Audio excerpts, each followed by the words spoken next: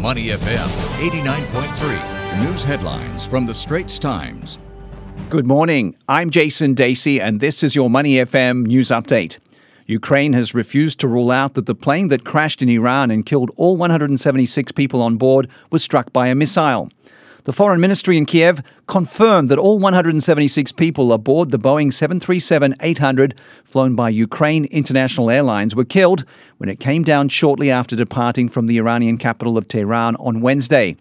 The majority of passengers were from Iran and Canada. Initially, Ukraine's embassy in Iran said that engine failure caused the plane to crash and denied that it was terror related or that a rocket had hit the aircraft but it later withdrew this statement, saying that anything was possible, with Ukraine's prosecutors to open criminal proceedings over the crash. The Duke and Duchess of Sussex will take a step back as senior royals and work to become financially independent. In a statement released by Buckingham Palace, Prince Harry and Meghan also said they plan to split their time between the UK and North America.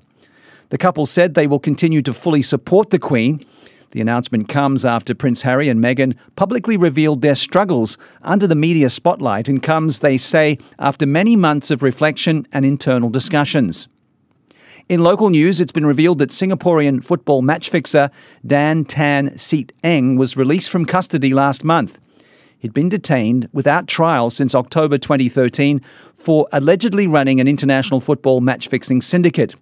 Once named by Interpol as the leader of the world's most notorious match fixing syndicate, the 55 year old Tan was kept behind bars for more than six years under the Criminal Law Temporary Provisions Act for his alleged rigging of football matches in Europe, Africa, and Turkey. In Asian news, eight Chinese patients diagnosed with an unidentified viral pneumonia were released from hospital on Wednesday after showing no signs of fever for several days. That's according to state owned media.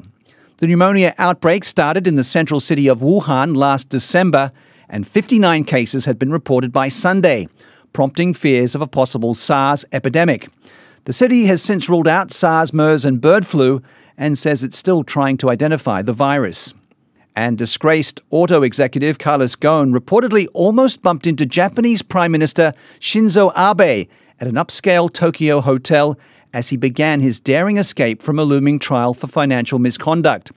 Public broadcaster NHK showed a map of Ghosn's movements after he left his house in the Japanese capital on December the 29th, indicating he met up with collaborators at the Grand Hyatt in Tokyo before catching a train to Osaka. Shortly after, Abe checked into the same hotel for his annual New Year break.